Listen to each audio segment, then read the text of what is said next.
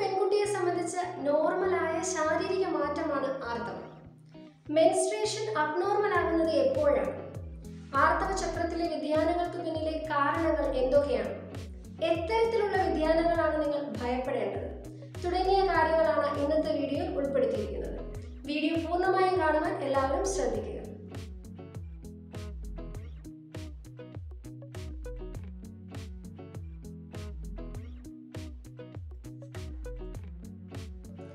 ഞാൻ doctor Shimi. Video ആദ്യമായി കാണുന്നവർ താഴെ കാണുന്ന സബ്സ്ക്രൈബ് ബട്ടൺ ക്ലിക്ക് ചെയ്യുക. സബ്സ്ക്രൈബ് ചെയ്യുമ്പോൾ തൊട്ടടുത്ത് കാണുന്ന ബെല്ലൈക്കൺ കൂടി ക്ലിക്ക് ചെയ്ത് കഴിഞ്ഞാൽ കൃത്യസമയത്ത് നിങ്ങൾക്ക് നോട്ടിഫിക്കേഷൻസ് ലഭിക്കുന്നതായിരിക്കും. രണ്ട് ടോപ്പിക്കുകളാണ് ഇന്നത്തെ വീഡിയോയിൽ ഉൾപ്പെടുത്തിയിരിക്കുന്നത്. മെൻസ്ട്രൽ പ്രോബ്ലംസ് ഏതൊക്കെ? എന്തൊക്കെയാണ് അബ്നോർമൽ മെൻസ്ട്രേഷൻസ് സാധാരണയായി മെൻസ്ട്രൽ സൈക്കിളിൽ കണ്ടുവരുന്ന പ്രോബ്ലംസ് ഏതൊക്കെയെന്ന് നമുക്ക് ആദ്യം പരിശോധിക്കാം.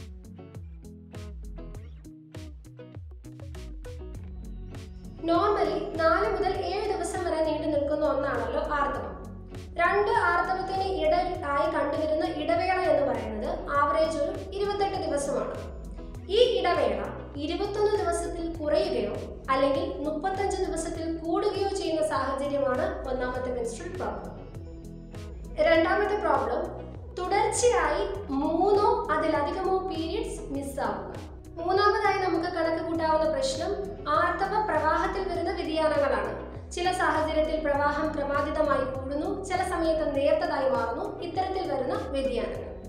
ഇനി അടുത്തൊരു പ്രശ്നം സാധാരണയായി ഏഴ് ദിവസം നീണ്ടു നിൽക്കേണ്ട പ്രവാഹം ഏഴ് ദിവസത്തിൽ കൂടുതൽ നിൽക്കുക. പിന്നീട് കണ്ടുവരുന്ന മറ്റൊരു പ്രശ്നമാണ് പീരീഡ്സിനോടനുബന്ധിച്ച് അമിതമായ വയറുവേദന ഛർദി ഓക്കാനം പോലെയുള്ള ബുദ്ധിമുട്ടുകൾ പ്രത്യക്ഷപ്പെടുക. ഇപ്പോൾ നമ്മൾ പരിശോധിച്ചതാണ് കോമൺ ആയി മെൻസ്ട്രൽ സൈക്കിളിൽ കണ്ടുവരുന്ന പ്രോബ്ലംസ് ഇനി നമുക്ക് അബ്നോർമൽ ആയിട്ടുള്ള മെൻസ്ട്രേഷൻസ് എന്ന് പറയുന്നത് ഏതൊക്കെയാണെന്ന് പരിശോധിക്കാം.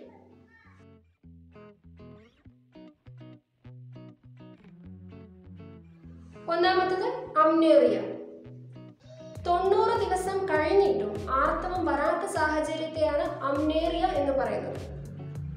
പക്ഷേ ഈ കേസിൽ ചില എക്സെപ്ഷൻസ് ആണ്. പ്രഗ്നന്റ് ആയ സ്ത്രീകൾ മുലയൂട്ടുന്ന അമ്മമാർ ആർത്തവ വിരാമം സംഭവിച്ച സ്ത്രീകൾ എന്നിവർ ഈ ലിസ്റ്റിൽ ഉൾപ്പെടുന്നില്ല. ഏകദേശം പതിനഞ്ച് പതിനാറ് വയസ്സോടുകൂടി സ്ഥലങ്ങൾ വികസിച്ചു തുടങ്ങുന്നതാണ്. ഇങ്ങനെ സ്ഥലങ്ങൾ വികസിച്ചു തുടങ്ങി മൂന്ന് വർഷത്തിനുള്ളിൽ ആദ്യ മെൻസ്ട്രേഷൻ പ്രത്യക്ഷപ്പെട്ടില്ല എങ്കിൽ ആ യുവതികൾക്കും അമ്നേറിയ ആണ് എന്ന് നമുക്ക് പറയാൻ സാധിക്കും. രണ്ടാമത്തെ അബ്നോർമൽ മെൻസ്ട്രേഷൻ ആണ് ഒളിഗോമെനോറിയ അപൂർവമായി മാത്രമേ ഇത്തരക്കാരിൽ മെൻസ്ട്രേഷൻ സംഭവിക്കുകയുള്ളൂ ഇനി അടുത്തൊരു കണ്ടീഷനാണ് ഡിസ്മെനോറിയ നമുക്ക് പീരിയഡ്സിന്റെ സമയത്ത് നോർമലായ ചില അസ്വസ്ഥതകളും ചെറിയ രീതിയിലുള്ള വേദനകളും സംഭവിക്കാറുണ്ട്. പക്ഷേ അതികഠിനമായ വേദനയോട് കൂടിയ മെൻസ്ട്രൽ പീരിയഡ്സ് ആണ് ഡിസ്മെനോറിയ ഇനി കണ്ടുവരുന്ന അടുത്തൊരു അബ്നോർമലായ കണ്ടീഷനാണ് ഗർഭാശയത്തിൽ നിന്ന് അല്ലെങ്കിൽ ഗർഭപാത്രത്തിൽ നിന്നുള്ള അതായത് കനത്ത രക്തസ്രാവം. ഏഴ് ദിവസത്തിൽ കൂടുതൽ നീണ്ടു നിൽക്കുന്ന രക്തസ്രാവം. ലൈംഗികതയ്ക്ക് ശേഷം ഉണ്ടാകുന്ന രക്തസ്രാവം. ആർത്തവ വിരാമത്തിന് ശേഷം രക്തസ്രാവം ഉണ്ടാകുന്നു. ഇതൊക്കെ ഗർഭപാത്രത്തിൽ നിന്നുള്ള രക്തസ്രാവത്തിന്റെ ഒരു ഭാഗമായും സംഭവിക്കാം. ഇപ്പോൾ നമ്മൾ പറഞ്ഞ ഈ അബ്നോർമൽ കണ്ടീഷനുകളിൽ പലതും നമുക്ക് കേട്ടുപരിചയമുള്ളവയായിരിക്കും. എന്തുകൊണ്ടാണ് ഇത്തരത്തിലുള്ള വ്യതിയാനങ്ങൾ സംഭവിക്കുന്നത്? അബ്നോർമൽ മെൻസ്ട്രേഷന് പിന്നിലെ കാരണങ്ങൾ എന്തൊക്കെയാണ്? നമുക്ക് നോക്കാം.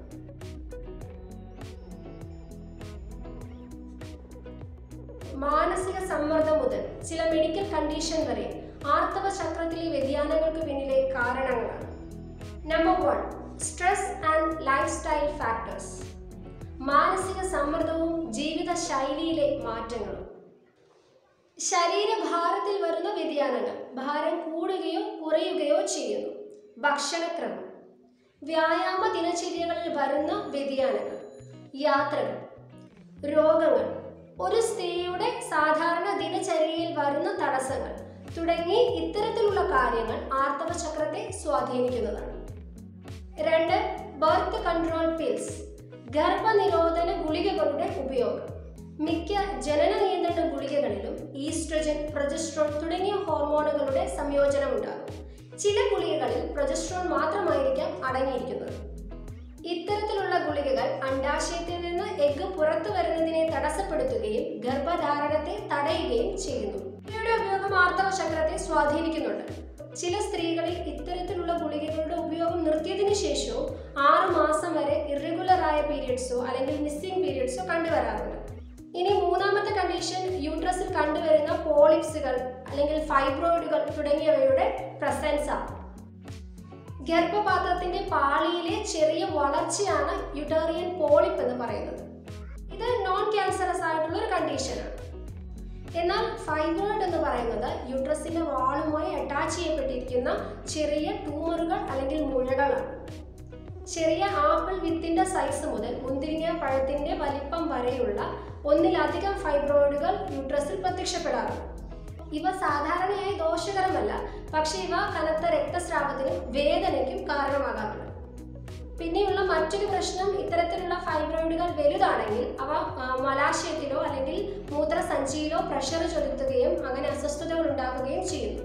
നാലാമത്തെ കണ്ടീഷനാണ് എൻഡോമെട്രിയോസിസ് ഗർഭപാത്രത്തിന്റെ അകത്ത് ലൈൻ ചെയ്തിരിക്കുന്ന സ്ഥലമാണ് എൻഡോമെട്രിയം എന്ന് പറയുന്നത്. ഈ എൻഡോമെട്രിയൽ ടിഷ്യൂ എല്ലാ മാസവും പൊട്ടിയാണ് ആർത്തവ പ്രവാഹം മെൻസ്ട്രേഷൻ ഉണ്ടാകുന്നത്. ഇത് പഴയ സ്ഥലങ്ങൾ പോയി പകരം പുതിയ സ്ഥലങ്ങൾ നിർമ്മിക്കപ്പെട്ട് ഗർഭപാത്രത്തിന്റെ സ്ഥലങ്ങൾ സംരക്ഷിക്കുന്നതിന് വേണ്ടിയുള്ള പ്രക്രിയയാണ് ഇങ്ങനെ എല്ലാ മാസവും എൻഡോമെട്രിയൽ ടിഷ്യൂ പൊട്ടുന്നത്. ഇങ്ങനെയുള്ള അകത്ത് കാണപ്പെടേണ്ട എൻഡോമെട്രിയൽ ടിഷ്യൂ ഗർഭപാത്രത്തിന് വെളിയിലോട്ട് വളരുന്ന സാഹചര്യത്തെയാണ് എൻഡോമെട്രിയോസിസ് എന്ന് പറയുന്നത്. ഇങ്ങനെ വെളിയിലോട്ട് വളരുന്ന ഇത്തരത്തിലുള്ള എൻഡോമെട്രിയൽ ടിഷ്യൂ പല സാഹചര്യത്തിലും ഫെലോപ്പിയൻ ട്യൂബ്യൂളിലോട്ടോ അല്ലെങ്കിൽ അണ്ടാശയത്തിലോട്ടോ അറ്റാച്ച് ചെയ്യപ്പെടാറുണ്ട്. അമിത രക്തസ്രാവം ആർത്തവത്തിന് മുമ്പും ആർത്തവ സമയത്തും അതികഠിനമായ വേദന ലൈംഗിക ബന്ധത്തിന് ശേഷം ഉണ്ടാകുന്ന വേദന തുടങ്ങിയവയൊക്കെ എൻഡോമെട്രിയോസിന്റെ ഭാഗമായി സംഭവിക്കും. അഞ്ചാമത്തെ കാരണം പെർവിക് ഇൻഫ്ലമേറ്ററി ഡിസീസ് അഥവാ പി ഐ ഡി സ്ത്രീകളുടെ പ്രത്യുൽപാദന വ്യവസ്ഥയെ ബാധിക്കുന്ന ബാക്ടീരിയൽ അണുബാധയാണ് പി ഐ ഡി എന്ന് പറയുന്നത്.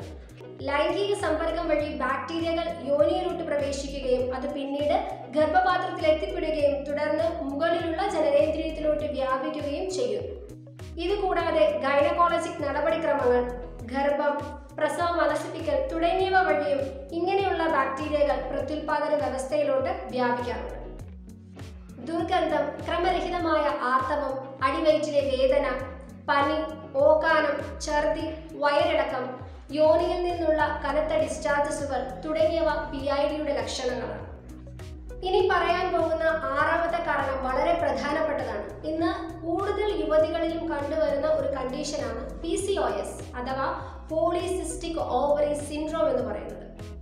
പി സി ഒ എസിൽ അണ്ടാശയത്തിൽ അമിതമായി ആൻഡ്രജൻ ഹോർമോണുകൾ ഉൽപ്പാദിപ്പിക്കപ്പെടുന്നു.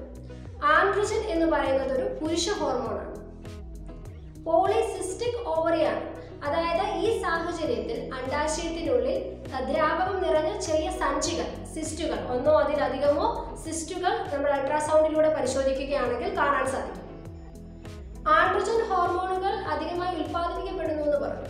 ഇങ്ങനെ ഉണ്ടാകുന്ന ഈ ഹോർമോൺ വ്യതിയാനം അണ്ടാശയത്തിനുള്ളിലെ എഗ്ഗുകൾ മച്ചുറേഷൻ സംഭവിക്കുന്നതിനെ ബാധിക്കുകയും സ്ഥിരമായി അണ്ടോൽപാദനം നടക്കാതെ വരികയും ചെയ്യുന്നു. പി സി ഒ എസ് ഉള്ള സ്ത്രീകൾക്ക് ചിലപ്പോൾ ക്രമരഹിതമായ ആർത്തവം സംഭവിക്കുകയോ അല്ലെങ്കിൽ ആർത്തവം പൂർണമായി നിൽക്കുകയോ ചെയ്യാം. കൂടാതെ അമിത അമിതവണ്ണം വന്ധ്യത ഹെർസ്യൂട്ടിസം തുടങ്ങിയവയും സംഭവിക്കാറുണ്ട്. അമിതമായ രോമ വളർച്ചയും ആഗ്നയുടെ ഫോർമേഷനുമാണ് ഈ ഹെർസ്യൂട്ടിസം എന്ന ടേം കൊണ്ട് ഉദ്ദേശിക്കുന്നത്. പി സി ഒസിന് പിന്നിലെ കൃത്യമായ കാരണം വ്യക്തമല്ലെങ്കിലും ഒരു ഹോർമോൺ പിന്നിലെ പ്രധാന കാരണമെന്ന് നമുക്ക് അനുമാനിക്കാൻ സാധിക്കും. പി സി ഒ എസിന്റെ ചികിത്സ ഒരു സ്ത്രീ ഗർഭം ധരിക്കാൻ ആഗ്രഹിക്കുന്നുണ്ടോ ഇല്ലയോ എന്നതിനെ ആശ്രയിച്ചാണ് ഇരിക്കുന്നത്. ഗർഭം ധരിക്കാൻ ഉദ്ദേശിക്കുന്നില്ല എന്നുണ്ടെങ്കിൽ ശരീരഭാരം കുറയ്ക്കുക ഓറൽ കോൺട്രാസെപ്റ്റീവ് പിൽസ് ഉപയോഗിക്കുക മെറ്റ്ഫോമിൻ നമ്മൾ പ്രമേഹത്തിന് വേണ്ടി ഉപയോഗിക്കുന്ന മരുന്നാണ്. ഇവയുടെ ഉപയോഗം മൂലം ആർത്തവ ചക്രം നിയന്ത്രിക്കാൻ സാധിക്കുന്നതാണ്. ഇനി ഗർഭധാരണം ആഗ്രഹിക്കുന്നു എന്നുണ്ടെങ്കിൽ അണ്ടോൽപാദന ഉത്തേജക മരുന്നുകൾ ഉപയോഗിക്കേണ്ടതായി വരും. ഏഴാമത്തെ കാരണം പ്രീമച്വർ ഓവാറിയൻ ഇൻസഫിഷ്യൻസിയാണ് അകാല അണ്ടാശയ അപര്യാപ്തത. ശരിയായ രീതിയിൽ അണ്ടാശയം പ്രവർത്തിക്കാത്ത നാൽപ്പത് വയസ്സിന് താഴെയുള്ള സ്ത്രീകളിലാണ് ഈ കണ്ടീഷൻ കണ്ടുവരുന്നത്. ആർത്തവ വിരാമത്തിന് സമാനമായി അവരിൽ ആർത്തവ ചക്രം നിൽക്കുന്നു. കീമോതെറാപ്പി റേഡിയോതെറാപ്പി തുടങ്ങിയവ ചികിത്സിക്കുന്ന രോഗികളിൽ ഇത് കണ്ടുവരാറുണ്ട്. അല്ലെങ്കിൽ ക്രോമസോമൽ വ്യതിയാനങ്ങൾ പാരമ്പര്യം തുടങ്ങിയവ കൊണ്ടും ഇങ്ങനെ ഉണ്ടാകാറുണ്ട്. ഇത്തരത്തിൽ നേരത്തെ ആർത്തവം നിൽക്കുന്നുവെങ്കിൽ തീർച്ചയായും നിങ്ങളൊരു ഡോക്ടറെ കാണേണ്ടതാണ്. ഗർഭാശയ അർബുദം ചില മരുന്നുകളുടെ ഉപയോഗം സ്റ്റിറോയിഡ്സുകളുടെ ഉപയോഗം ആന്റി കൊയാഗുലൻസ് രക്തം കട്ട പിടിപ്പിക്കാതിരിക്കാനുള്ള മരുന്നുകളുടെ ഉപയോഗം തൈറോയ്ഡ് ഗ്ലാൻഡിന്റെ തകരാറുകൾ ബ്ലീഡിംഗ് ഡിസോർഡേഴ്സ് ചില പ്രഗ്നൻസി ട്യൂബൽ പ്രഗ്നൻസി അതായത് ഫെലോപ്പിയൻ ട്യൂബ്യൂണിലും മറ്റും പ്രഗ്നൻസി സംഭവിക്കാറുണ്ട്. അത്തരത്തിലുള്ള കണ്ടീഷനുകൾ തുടങ്ങിയവരിലും ഈ പറഞ്ഞതുപോലെ ഇറഗുലർ മെൻസ്ട്രേഷൻ സംഭവിക്കാറുണ്ട്. ഇതുവരെ നമ്മൾ നോക്കിയത് എന്താണ് അബ്നോർമൽ മെൻസ്ട്രേഷൻസ് ഇറഗുലർ മെൻസ്ട്രേഷൻ പിന്നിലെ കാരണങ്ങൾ എന്തൊക്കെയാണ്? തുടങ്ങിയവയാണ്. ഇനി നമുക്ക് ഇതിനുള്ള റെമഡീസ് എന്തൊക്കെയാണ്? ഇത് പ്രിവെന്റ് ചെയ്യാൻ വേണ്ടി നമുക്ക് ചെയ്യാൻ പറ്റുന്ന സെൽഫ് കെയറുകൾ ഏതൊക്കെയാണ് എന്നൊക്കെ നോക്കാം.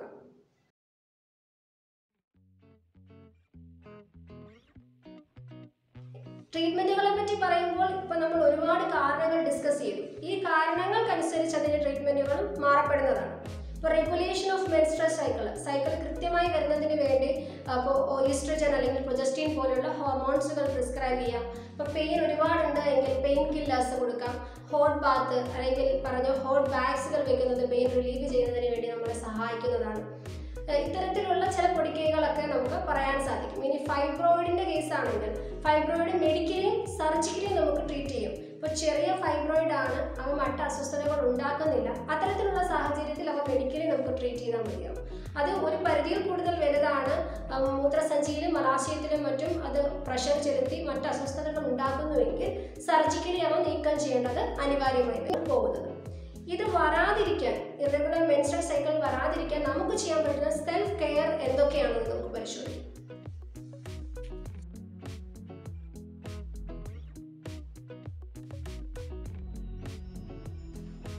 ഒന്നാമത്തത് ഹെൽത്തി ലൈഫ് സ്റ്റൈലാണ് ന്യൂട്രീഷ്യസ് ആയിട്ടുള്ള ആഹാരങ്ങൾ കഴിക്കുക എക്സസൈസുകൾ ചെയ്യുക തുടങ്ങിയവ രണ്ട് റെസ്റ്റ് പ്രധാനമാണ്. നിങ്ങൾക്ക് ആവശ്യത്തിന് വിശ്രമം ലഭിക്കുന്നുണ്ട് എന്ന് നിങ്ങൾ ഉറപ്പുവരുത്തുക. മൂന്ന് നിങ്ങളൊരു അത്ലറ്റ് ആണെന്നുണ്ടെങ്കിൽ ഒരുപാട് നേരം നീണ്ടു നിൽക്കുന്ന എക്സസൈസുകൾ ഒഴിവാക്കുക.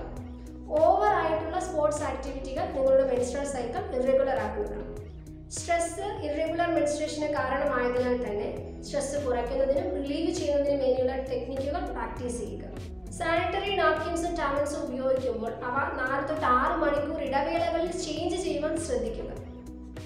ഏതെങ്കിലും തരത്തിൽ വ്യതിയാനങ്ങൾ നിങ്ങളുടെ മെൻസ്ട്രൽ സൈക്കിളിൽ കാണുന്നു എന്നുണ്ടെങ്കിൽ തീർച്ചയായും പഠിക്കാതെ നിങ്ങളൊരു ഡോക്ടറെ കാണണം. ഇന്നത്തെ നമ്മുടെ വീഡിയോ അബ്നോർമൽ മെൻസ്ട്രേഷനെ സംബന്ധിച്ചതായിരുന്നു. ഈ വീഡിയോ എല്ലാവർക്കും ഉപയോഗപ്രദമായി എന്ന് തന്നെ വിശ്വസിക്കുന്നു. വീഡിയോ ഇഷ്ടമായെങ്കിൽ എല്ലാവരും മടിക്കാതെ ലൈക്ക് ചെയ്യുക മറ്റുള്ളവരിലോട്ടും ഷെയർ ചെയ്യുക. വീണ്ടും മറ്റൊരു വീഡിയോയിലൂടെ കാണും വരെ